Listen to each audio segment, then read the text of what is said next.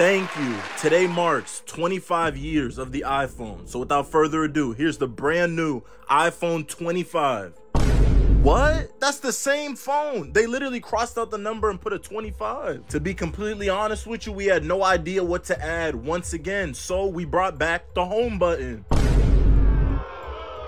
What? Ain't no way. They've been making the same phone for the last 10 years. For real, bro. I'm about to get an Android. Hell nah, I'm just playing. Hold on, look, before you start booing, let me go over the new features, all right? Introducing Siri. Nah, jit, tripping. Bro, we been had that for years. What is he talking about? Hold on, look, I'm getting to the good part, all right? Look, you can now FaceTime people.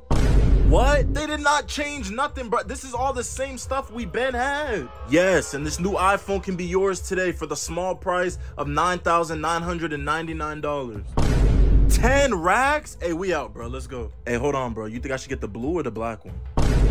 Nah, I'm gonna keep this phone till I die. I'm not missing out on nothing. That's crazy.